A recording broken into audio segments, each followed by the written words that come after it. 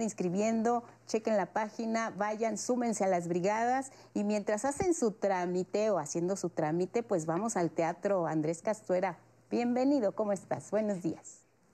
Hola, ¿qué tal Lupita, Diana Laura, amigos y amigas que nos siguen aquí en Diálogos en Confianza? Hoy vamos a hacer un viaje teatral al 77, este centro cultural autogestivo que está ahí en la colonia Juárez, para hablar de una obra que lleva por título Barba Azul. Es una obra que escribe Ita Caleb, un joven dramaturgo mexicano, inspirado en este cuento legendario de Charles Perrault. No es uno de los cuentos más conocidos de Charles Perrault, es uno de los que a lo mejor estas empresas que después convirtieron todos estos cuentos en cuentos de hadas, a lo mejor lo dejaron fuera por lo fuerte que era su contenido, pero recordemos que los cuentos realmente eran así, eran bastante oscuros, ya después se les dio esta maquilladita. En el caso de Barba Azul es un personaje que era el más cautivador, el hombre más encantador el que todas querían tener a su lado, porque tenía una cara ante la sociedad, pero había un lado muy, muy siniestro dentro de sus grandes castillos, y es que coleccionaba ni más ni menos que a sus esposas, pero coleccionaba a sus esposas muertas. Así que imagínense el giro que ha dado este cuento de Barba Azul aplicado a la triste realidad que vivimos hoy en día en nuestro país. ¿Qué tanto hemos conocido, hemos tenido cerca a un Barba Azul?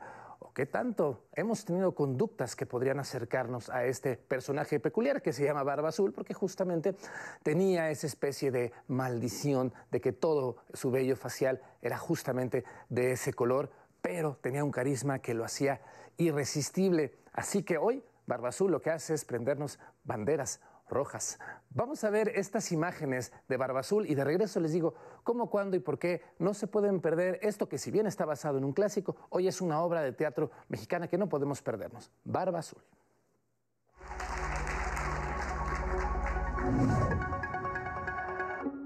Y no me importa ni la edad, ni la barba. Si tengo todo eso de él. Hija, Tú sí eres la esperanza de nuestra pequeña familia. Varón, ya puede venir.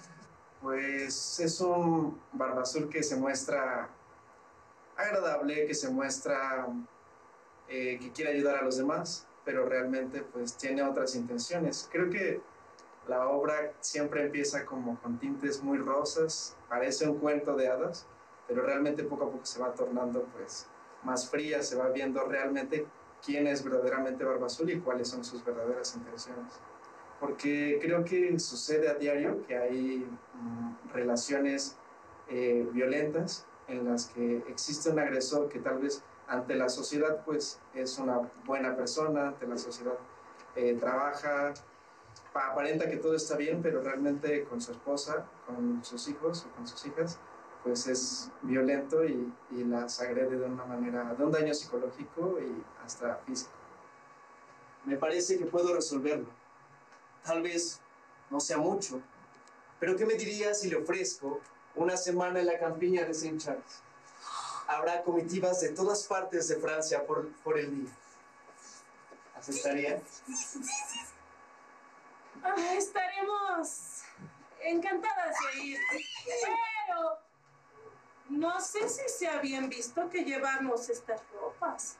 ¿Por qué escribir Barba Azul? Porque creo que este tipo de personajes siguen abundando aún hoy en día y me parece que aunque se ha tocado desde distintos puntos de vista, aparte es un cuento poco conocido de Charles Perrault y que toma esta relevancia y este impacto que necesita porque no vamos a venir a hablar de este Barba Azul sino que vamos a hablar de este contexto y de los personajes que lo rodean y darles esa relevancia que necesitan hoy en día y que podemos encontrar en diferentes contextos y que no estamos tan alejados de esa Francia en la cual ambienta la historia. Buenos días, querido esposo. Buenos días, amado esposo. ¿Te encuentras bien? No tanto. ¿Qué ocurre? La locura por casarnos. Se me olvidaron unos pendientes que tenía. Debía ver al duque Gerard hace cuatro días. ¿Era importante? Lo es porque todavía puedo verlo para ofrecer mis disculpas. ¿Por qué no me dijiste antes? No quería arruinar tu estadía en plena noche de bodas. Son viajes largos y tardo tiempo en volver. Puedes irte. No, no hay ningún problema.